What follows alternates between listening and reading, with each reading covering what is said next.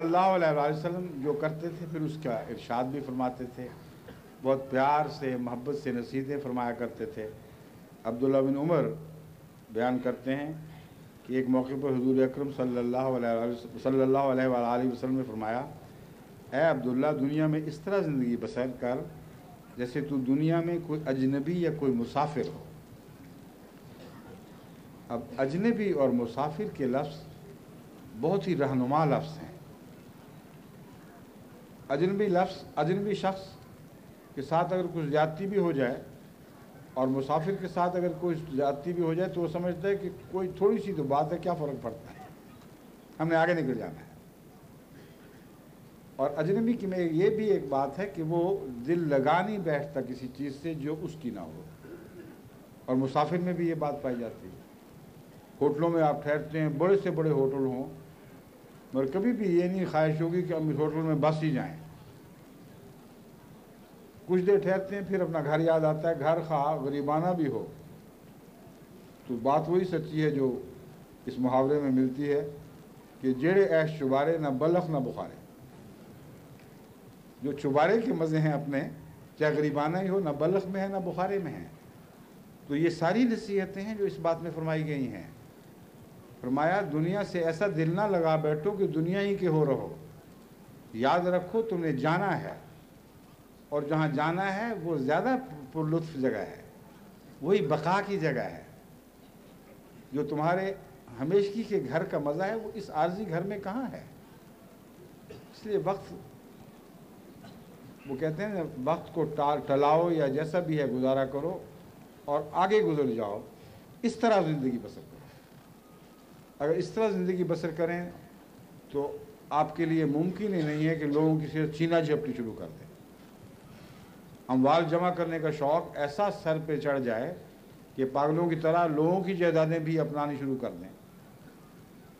किसी का हक मारने लगे, किसी यतीम का हक मार जाएँ, किसी बेवा का हक मार जाएँ तो उसके भाई का भी हक मार जाएँ, बहन का भी हक मार जाएँ, ऐसा पागलपन तो सफ़रों में नहीं हुआ करता। सफ़रों के दरमियान तो खुद गर्ज इंसान भी जो सफ़र की मुश्तरक चीज़ें बराबर बांट के आराम से खाते हैं, क्योंकि वो जानते हैं कि तो सफ़र का किस्सा है। बस ये भी नसीहत इसमें है कि तुम आर्जी तौर पर यहाँ आए हो, क्या क्या छीना झपटी में वक्त खर्च करोगे?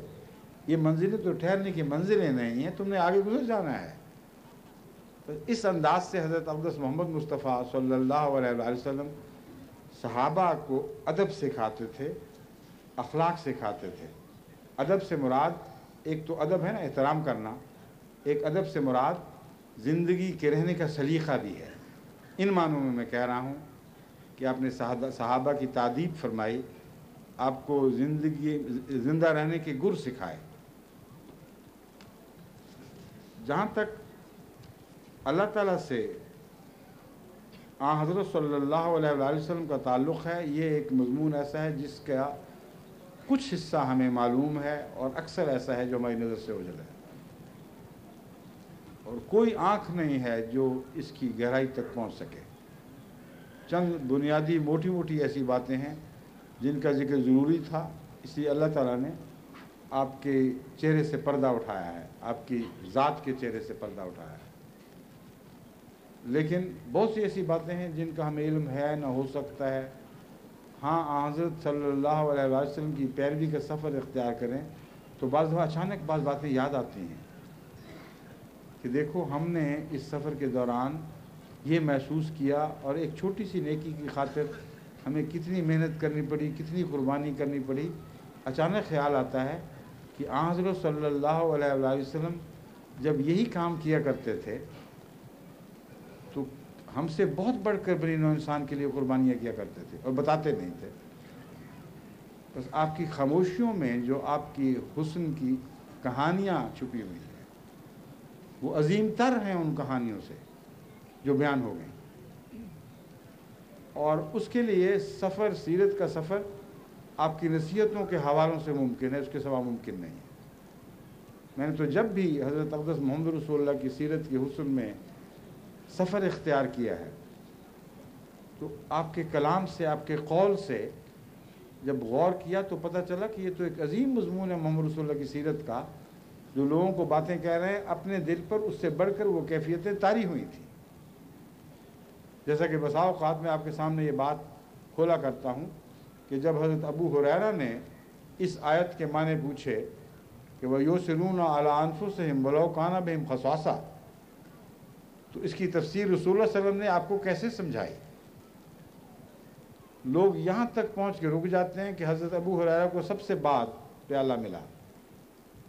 और ये समझाया कि तुम अगर इस आयत के माने पूछते हो तो अपनी भूख की शिद्दत के बावजूद, जब तक अपने भाइयों की खातिर अपने, अपनी भूख की कुर्बानी पेश नहीं करोगे जब तक दूध पहले उनको देने पर तैयार ना हो और ये महसूस ना करो कि तुम्हें सख्त भूख लगी है और उसके बावजूद तुम्हारे भाई दूध पहले पी रहे हैं और पता नहीं कितना पी जाए। जब तक इस तकलीफ़ से ना गुजरो, तुम्हें पता ही नहीं लग सकता कि इस आयत के माने क्या हैं। वो यो सिरून अलानफुसम वलाओ का नबेम पसा कि वो अपने भाइयों पर अपने नफ्स की ज़रूरत को तरजीह देते हैं, खा कैसे ही तंगी की हालत क्यों ना यहाँ तक लोग पहुँच के ठहर जाते हैं मगर ये जानते। सबसे आखिर पर मोहम्मद रसोल्ला ने वो दूध पिया था। लाजिम है कि आपको सबसे ज़्यादा भूख की तकलीफ़ उस वक्त हुई। और उसके बावजूद, आप तफसीर का वो आखिरी नुकता है, मराज थे। कि देखो, मुझे देखो, मुझ पर दूध उतारा गया, मेरे लिए उतारा गया। मैं अपने गुलामों के लिए देखो, कैसी कुर्बानी के नमूने दिखा रहा उनकी ज़रूरतों पर तरजीह देता हूँ। अबू हुरारा को उसको उनके हवाले से बता दिया और अपने हवाले से आगे बात भी की। बस इसलिए मैं आपसे कहता हूँ कि मोहम्मद रसूलुल्लाह की सीरत का सफ़र तेज़ी से गुजर जाने वाला सफ़र नहीं है। एक भंवरे की तरह फूलों के ऊपर बैठें और गहरा उतर कर उनके रस तक पहुँचने की कोशिश करें। एक तितली की तरह उनके रंगों को अपनाएँ और उनकी सोबत में बैठकर अपने अंदर पाक तब्दीलियाँ पैदा करें। खुशबू पैदा करें, जैसे मिट्टी जो फूलों के नीचे होती है, उसमें भी खुशबू पैदा हो जाती है।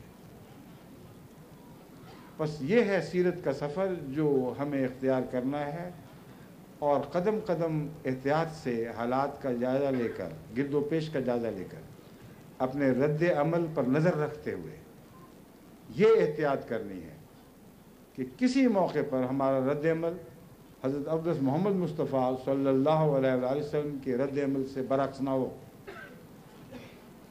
हर जगह हम कामिल तौर पर मोहम्मद रसूलुल्लाह की पैरवी कर रहे हों, तब हमें वो हुस्न बख्शा जाएगा जो गालिब आने के लिए बनाया गया है, जिसके मुकाबले पर दुनिया की कोई ताकत ठहर नहीं सकती, मगर लाजमन उस हुस्न की जलवे से मगलूब हो करती है। दावत अल्लाह का सफ़र और इतना बड़ा। अरबों की दुनिया को आपने मोहम्मद रसोल्ला की ग़ुलामी और खुदा की ग़ुलामी की तरफ़ वापस लाना और निहत्ते हो के चलें, खाली हाथ जालिरा पास ना हो। तो कैसे आप अजीम नतज हासिल करेंगे? लड़ते हैं तो तलवार तो लेकर चलें। लेकिन अगर तलवारों से मजमून आगे निकल गया हो तो फिर वो आला दर्जे के हथियार अपनाने होंगे, जो तलवारों से बढ़कर ताकत रखते हैं। और अखलाक हसना के हथियारों में आ हज़रत वसल्लम के पास वो सारे हथियार मौजूद हैं, जिनकी कभी किसी को ज़रूरत पेश आ सकती हथियार इन मानों में कि बुराई से मुकाबला करना है। हर किस्म की बुराई के तकाजे अलग अलग हैं। हर बुराई से दिफा के लिए हज़रत अब्दस मोहम्मद रसूलुल्लाह की सीरत में वो हथियार मौजूद हैं जो बरमहल इस्तेमाल हों तो हर बुराई का कला कमा कर सकते हैं। तो है तो बहुत वसी मजमून और आम तौर पर इंसान को ये कुदरत नहीं होती कि इन मजमूनों की बारीकियों में उतर सके, मगर अगर आप नफ्स मजमून समझ जाएँ, जैसा कि मिसालों से मैं आपको समझा रहा हूँ तो फिर इन आपकी ज़िंदगी का सफ़र आसान हो जाएगा। बुनियादी तौर पर यह याद रखें कि आ, हज़रत वसल्लम की सीरत की पैरवी करनी है। लेकिन अगर इल्म ना हो, बहुत से ऐसे ममालिक हैं जहाँ कसरत से ऐसे अहमदी हैं जिनको अलिफ का, अलिफ और बे के दरमियान फ़र्क नहीं।